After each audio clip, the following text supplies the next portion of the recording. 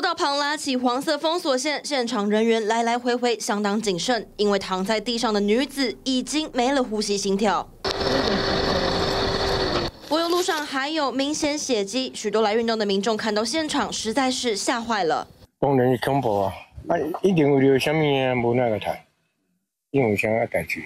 十一号凌晨，基隆警方接获报案，在大五轮炮台半山腰的边坡，有人倒卧草丛，疑似坠谷。我都要起起来，因为怎么这么多状况？我再来看这个。警方抵达时，女子已经没有生命迹象，身上还有多处刀伤，确认身份是年约四五十岁的泰国籍女义工。你来救她的吗？还是怎样？你们是发现的还是他朋友？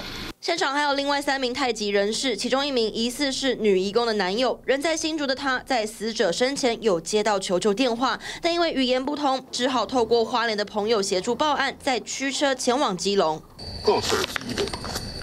现场血迹有十多公尺，还有拖鞋在旁。初步推测，应该是先发生争执打斗，嫌犯才下手行凶，并就近将人推下边坡。那本案将全力侦办，以及清案发的经过，并报请台湾基隆地方检察署指挥相验，积极将凶嫌查缉到案。警方目前重回现场找寻相关物证，并将相关人士带回警局协助厘清，希望能赶紧还原出整起案件的前因后果。TVBS 新闻刘新奎兰亭基隆采访报道。